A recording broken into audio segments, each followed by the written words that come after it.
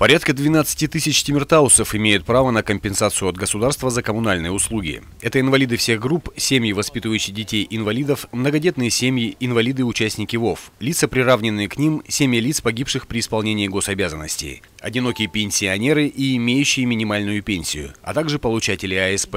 Этим категориям при подаче соответствующего заявления будет дважды начислено по 15 тысяч тенге на лицевые счета коммунальных предприятий. С 1 июня начат прием заявлений за май месяц на возмещение коммунальных услуг. Также дополнительно продолжается сбор заявлений за апрель месяц.